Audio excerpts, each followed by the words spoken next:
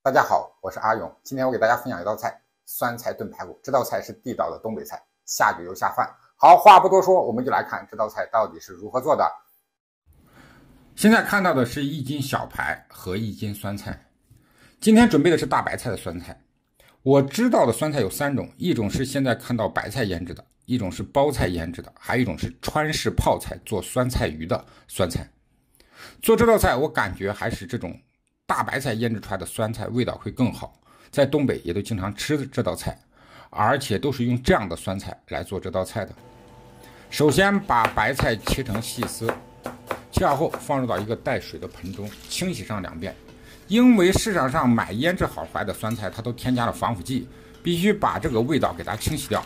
还有一点也很重要，市场上买的酸菜，它的酸味呢，其实也特别的冲鼻。我们把这种酸味给它淡化一下。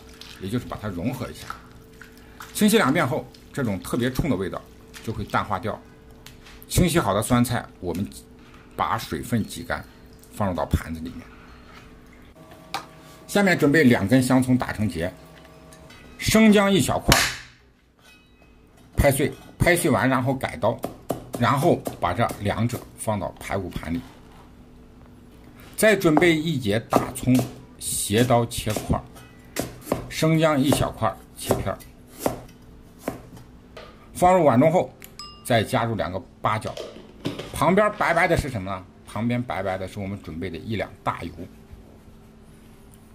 下面，锅中加清水，冷水的时候，我们下入洗干净的排骨、葱、生姜，再加入十克的料酒。放这些是为了去腥增香用的。随着水温的升高，才能更有效的把排骨里面所含的血水给它焯出来。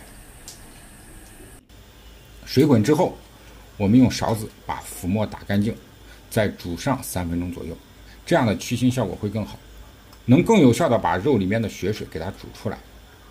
三分钟后，我们把排骨捞出，放到温水里面，把肉上面残余的浮沫给它彻底清洗干净。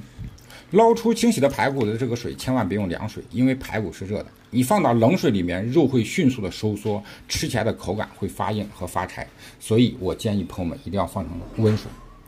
清洗过后，我们把排骨捞出，朋友们可以看看这个洗排骨的水，全都是这种浮沫。所以说，大家千万不要忽略了这个步骤。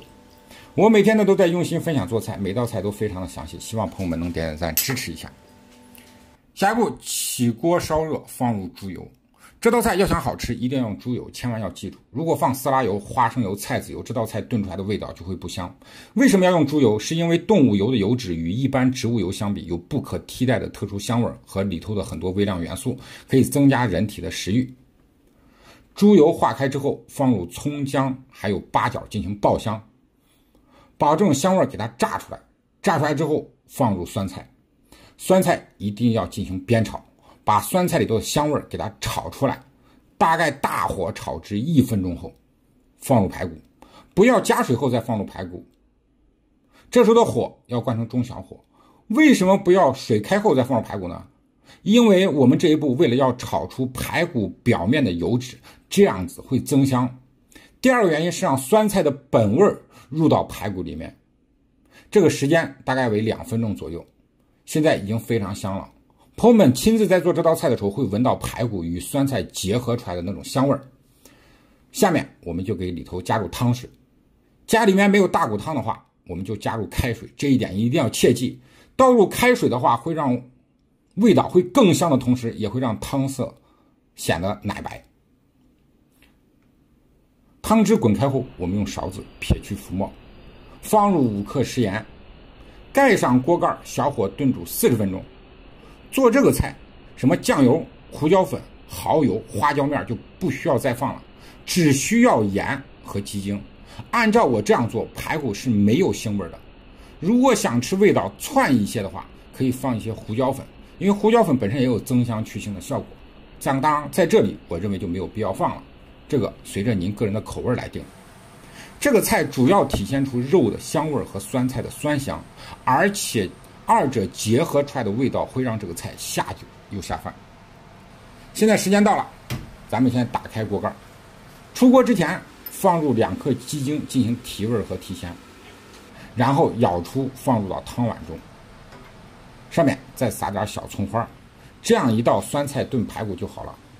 这道菜酸香软烂，可口下饭。你学会了吗？如果喜欢，请点击视频下方关注、点赞阿勇每日小厨。阿勇将每天带给您不同的美食分享。